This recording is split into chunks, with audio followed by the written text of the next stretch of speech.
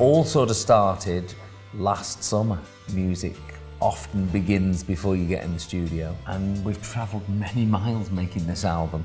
Lots of thinking, lots of writing, lots of work, lots of performing, lots of singing, playing, and now, of course, we're excited for people to hear it.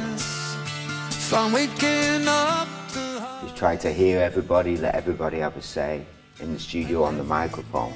And even in location, we've made this record everywhere. Took a little bit of LA, took a little bit of Spain, a bit of Europe, went to Barcelona, a bit of Nashville, a bit of Savannah, a bit of New York, a bit of London. I always believe that when we're writing these songs out is to find a new audience. I want people who've never been into Take That to listen on the radio and think, oh God, who's this? I think the hook of the whole thing actually has been our voices. All our voices are the lead vocal, so you mm. can hear everybody's voice every time we sing. When we're recording these songs and vocals, we always have the imagination of taking it on tour.